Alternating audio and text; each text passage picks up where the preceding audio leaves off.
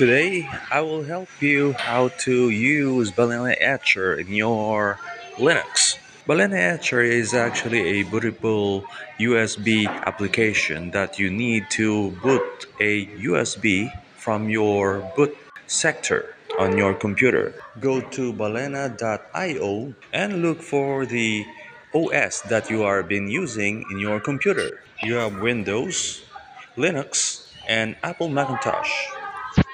Then you select your ISO image and select your USB drive to be bootable.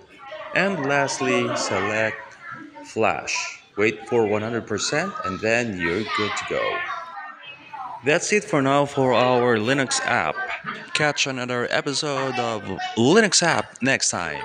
I'm Blair saying bye for now and see you in the next episode.